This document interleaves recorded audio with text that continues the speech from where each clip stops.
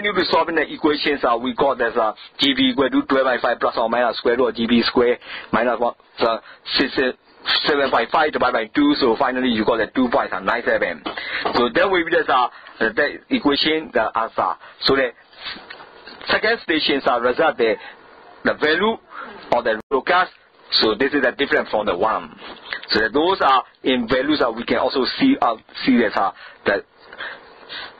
the diagram, so we can also plot the diagram graph for the two magnitude.